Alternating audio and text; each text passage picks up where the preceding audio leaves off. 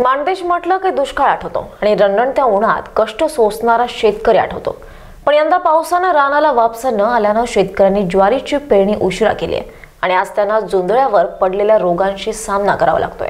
यामध्ये साधारणतः मवा आणि चिकट्या मोठ्या प्रमाणावर दिसून येतोय. रानं मवा रोगानं ज्वारी काळी भंगार पडलेली दिसत आहेत कणसाला आलेला दाणा देखील पाखरांनी राखलेला नाही. शेतकरी अस्वस्थ झालेले पाहायला मिळतात. यावर्षी पडलेल्या पावसाची आकडेवारी तालुका कृषी अधिकारी आटपाडी यांनी चुकीची दाखवल्यानं शेतकऱ्यांना मोठा फटका बसलाय.